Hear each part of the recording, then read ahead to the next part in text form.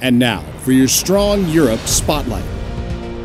On a recent visit to Europe, U.S. Army Chief of Staff General Mark Milley sat down with Army Europe Public Affairs to discuss a few of his top priorities. Readiness is our number one priority, and it's going to remain the number one priority for as long as I'm the Chief of Staff. The ability to create ready forces is not done overnight. It's done on a sustained basis. And across the Army, uh, we have uh, room to improve when it comes to readiness. Uh, we have to make sure that our units are fully manned. Uh, we've got to make sure that we're properly equipped and it's properly maintained. And significantly, we have to make sure that our training is up to speed for a wide variety of contingencies uh, and that we have good and solid leadership.